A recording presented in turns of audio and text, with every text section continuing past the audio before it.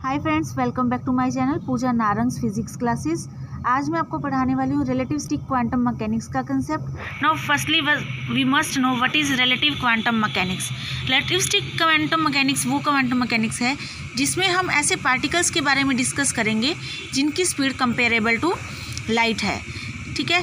ऐसे पार्टिकल्स भी आगे टू टाइप्स के हो सकते हैं spinless particles and spin particles जो स्पिनलेस पार्टिकल्स से डील करेगी that is K G equation Klein Gordon equation और जो स्पिन पार्टिकल से डील करेगी that is direct equation okay सबसे पहले हम आज करने वाले हैं, आज का टॉपिक है क्लेन गॉर्डन इक्वेशन चलते हैं इसकी तरफ़.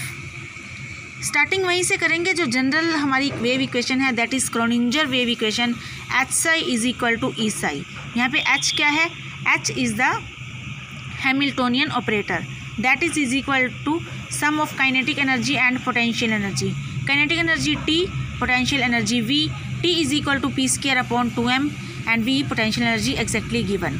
Now P can be taken in component form. आपकी मर्ज़ी है, आप ये ले सकते हैं, नहीं लेना चाहते, आपकी मर्ज़ी है।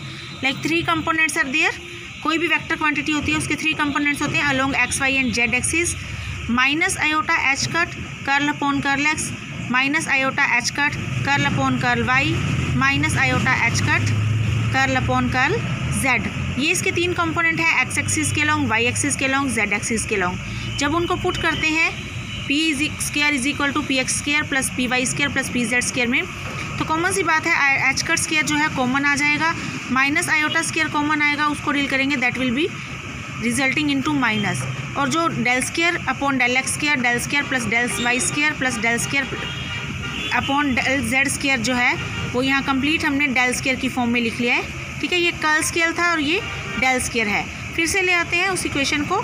S I is equal to E psi in component form it can be written as minus h cut square upon two m ये छोटी सी मिस्टेक है, यहाँ पे आएगा। डेल स्केयर इसके साथ में आएगा। चलिए बढ़ते हैं। Minus h cut square upon two m del square plus V into psi is equal to iota h cut कल साई अपॉन कल टी ये ई e लिखा हुआ है in the component form sorry in the operator form to generate ये तो थी equation for the non relativistic okay जो जनरल इक्वेशंस हमने यूज़ किए हैं. आगे आ जाते हैं. इसी इक्वेशन को हमने जनरेट करना है इस इक्वेशन को for relativistic case relativistic means जब हमारी जो स्पीड है that is comparable to light तो ऐसे केस में क्या करना होता है? जो मास है, वो रेस्ट मास की फॉर्म में लिया जाता है. That is is equal to m naught upon under root one minus v square upon c square और जो विलोसिटी ऑफ़ द पार्टिकल है that we have taken x dot square plus y dot square plus z dot square और यहाँ पे हमने free particle का case लिया है तो हम इस केस में क्या करेंगे? ज़ीरो लेंगे, ठीक है? उसकी पोटेंशियल एनर्जी जो है ज़ीरो लेंगे. चलिए चलते हैं. एनर्जी ऑफ़ पार्टिकल कैसे देते हैं? Relativistic particle is equal to m c square m की वैल्यू क्या है? M naught under the root one minus v square upon c square ये इसके बाय में आएगा तो m naught upon under root one minus v square upon c square मैंने यहाँ पुट कर दिया और जो सी स्केयर था वो as it is c square यहाँ आ गया है। अब जो वी बाई सी था उसको हमने बीटा पुट किया है, ठीक है? और सिंपली आगे इक्वेशन आ गई है m naught c square upon one under root one minus beta square momenta in Cartesian coordinates कैसा होता है? मोमेंटम को कैसे लिख सकते हैं? P x is equal to m v okay v means change in position ये थ्री कंपोनेंट्स की फॉर्म में लिया है m x dot m y dot m z dot ठीक है? तीन कंपोनेंट्स लिए हैं इसके। आगे बढ़ते हैं। अब m की वैल्यू पिछली क्वेश्चन में इन्होंने पुट कर दिए m naught upon under root one minus beta square और एम वी होता है तो वी की जगह x dot, y dot, z dot, ये एज इट इज़ रखा हुआ है। P square is equal to P x square P y square plus P z square आ रहा है। ठीक है? इसके बाद आ जाता है एम नोट स्केयर बाय में वन माइनस बीटा स्केयर ये हमने कॉमन लिया है और ब्रैकेट में एक्स डॉट का स्केयर प्लस वाई डॉट का स्केयर प्लस जेड डॉट का स्केयर इज़ इक्वल टू ये आ गया। जो एक्स डॉट का स्केयर प्लस वाई डॉट का स्केयर प्लस जेड डॉट का जो स्केयर है that is is equal to v square velocity बढ़ते हैं आगे। तो ये जो वैल्यूज़ निकाली हैं, ये यहाँ पुट करके निकाल ली इन्होंने, ठीक है? अब इसके बाद आ जाता है P square is equal to again P x square plus P y square plus P z square वही इक्वेशन फिर से पुट की हुई है। बस यहाँ पे जो था m naught square v square by में one one minus beta square है। ठीक है? यहाँ पे इन्होंने क्या किया इस इक्वेशन में? V is equal to beta c put कर दिया। हमने क्या किया था? Beta is equal to v by c तो यहाँ से v is equal to beta c आ गया, यहाँ पुट कर दिया। इसके बाद लेके आ रहे हैं m naught square c square ये जो एक टर्म है that is beta square upon one minus beta square उसको इस फॉर्म में भी लिखा जा सकता है। वन बाई में one minus beta square minus one इसके बाद हम लेके आते हैं m naught square c square by में वन माइनस बीटा स्केयर ये सिंपल मैथमेटिक्स है, इसको अंदर मल्टीप्लाई किया और कुछ भी नहीं किया है।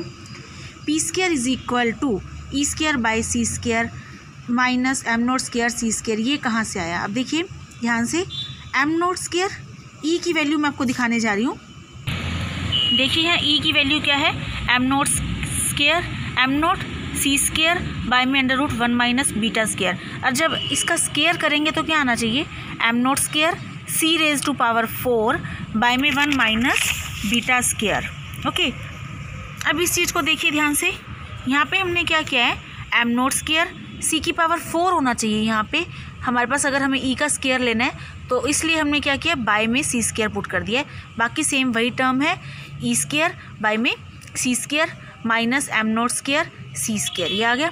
अब इसके बाद ऑपरेटर फॉर्म में ले ला रहे हैं हम वापस।